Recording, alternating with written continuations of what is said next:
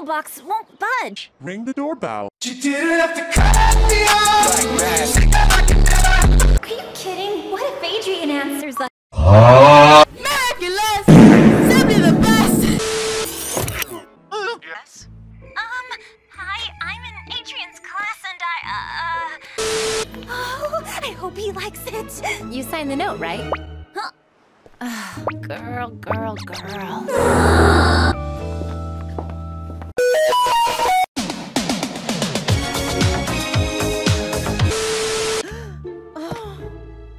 Oh.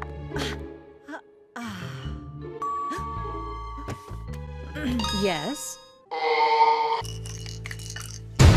Forget it, Nino. Really, it's fine. I've just decided you're a bad influence and you're not welcome in my house ever again. Leave now! He was just trying to do something cool for me.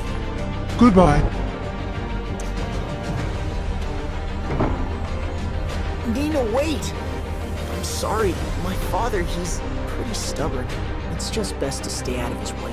Miraculous! Simply the best! Up to the test when things go